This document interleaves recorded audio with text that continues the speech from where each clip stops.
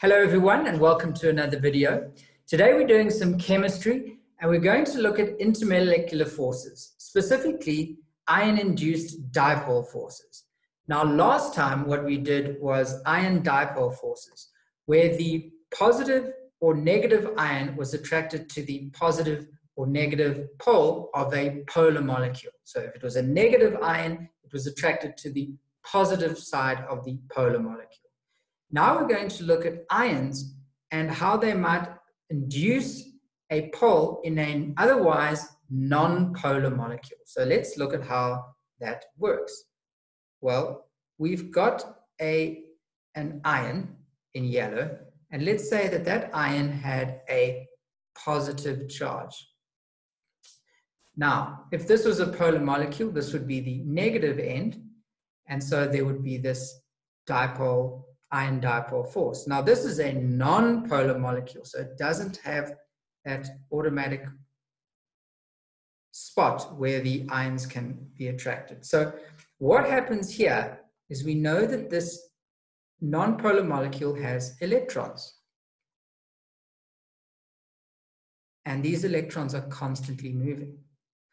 And what's going to happen is this positive ion is going to attract the electrons. And so they're going to move towards this side. And so we're going to end up with a negative and a positive dipole.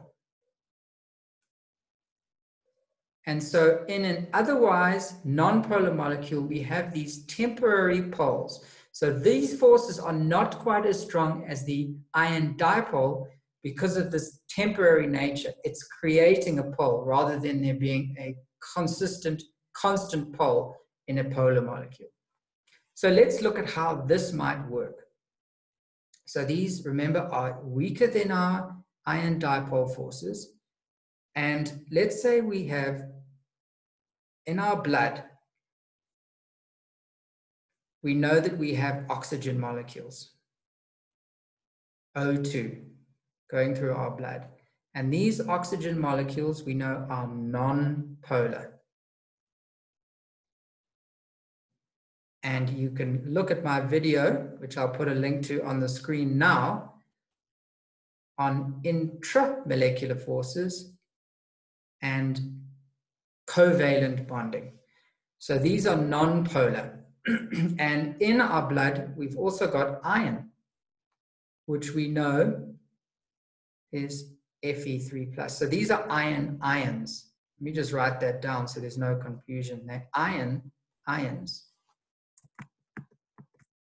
And these have a plus 3 charge. Um, let's draw one here. And we'll draw one here.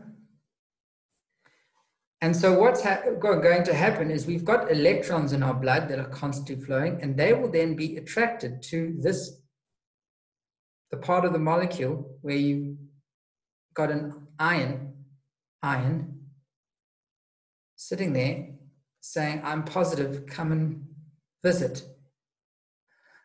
And so we've got this ion-induced dipole, which is negative, and then obviously you'll have a positive end as well. So you might have a positive. And so let's draw the iron in yellow so that it's consistent. And so we've got these iron-induced dipole force. Pardon the pun, but it's a good way to remember it. Iron-induced. So just remember what happens in your bloodstream. You've got O2 running through the blood. We know we need oxygen. We know we need iron. We do not want to be iron deficient. And so you've got this iron dipole, iron induced dipole force between the ions and what is a non-polar molecule, which now has a temporary pole. Okay, so next we're going to be doing van der Waals forces, where we'll start with dipole-dipole interactions. Remember that all of these forces, the, name kind of says it all. So where we had an iron dipole, there was an iron and a dipole. Now we've got an iron-induced dipole, meaning the iron is inducing a dipole and a non-polar molecule. It's a bit of a tongue twister, might sound confusing, but hopefully these diagrams helped you.